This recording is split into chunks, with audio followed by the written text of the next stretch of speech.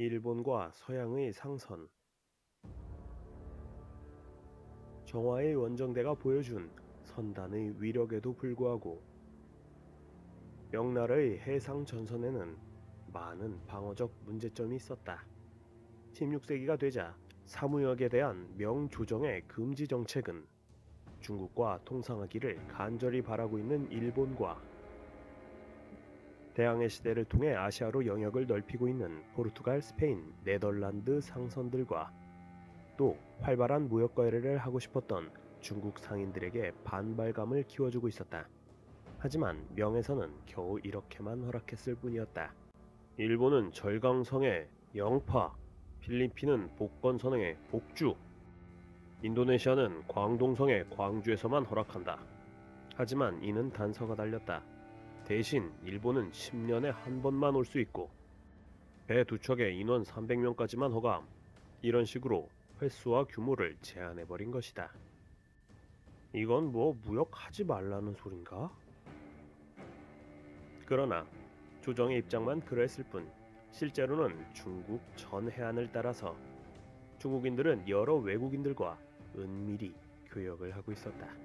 특히 1577년 포르투갈인들은 광동성의 관료를 뇌물로 구워 삶아 마카오에 대대적인 무역 거점을 만드는 데 성공하였고 마카오에는 곧 수많은 서양 상인들과 일본 상인들로 바글바글하게 된다. 외구 문제와 조공국 원조 명이 일본과 교류를 기피했던 것은 당시에 횡행하고 있었던 외구 문제를 일본 정부에서 적극적으로 해결해 주고 있지 못한다는 인식이 있었기 때문이다.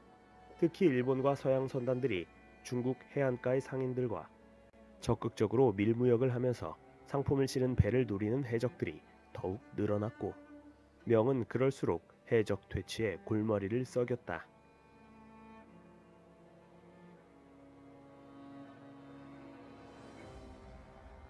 이런 상황에 명은 쉽사리 일본에게 문호를 개방할 수 없었던 것이다. 괘씸했으니까. 한편 중국의 조공 체계에는 충성을 다하는 조공국에 대해서 위기 상황 때 원조해 주어야 한다는 온정주의적 의무감이 내포되어 있었다. 때문에 명은 조공국들이 위기 상황에 처했을 때 상당한 비용을 들이면서까지 지켜줘야 한다고 생각했는데